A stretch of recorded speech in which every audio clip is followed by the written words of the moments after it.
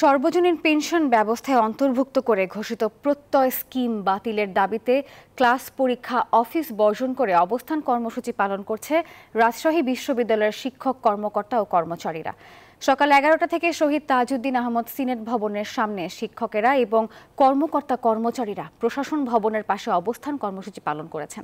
আন্দোলনকারী শিক্ষকরা জানান, পেনশন সংক্রান্ত বৈষম্যমূলক প্রজ্ঞাপন প্রত্যাহার, সুপার গ্রেডে বিশ্ববিদ্যালয়ের শিক্ষকদের অন্তর্ভুক্তি এবং স্বতন্ত্র বেতন স্কেল প্রবর্তনের দাবি পূরণ না হওয়া পর্যন্ত ক্লাস পরীক্ষা সহ সমস্ত অফিসিয়াল কাজ বন্ধ থাকবে।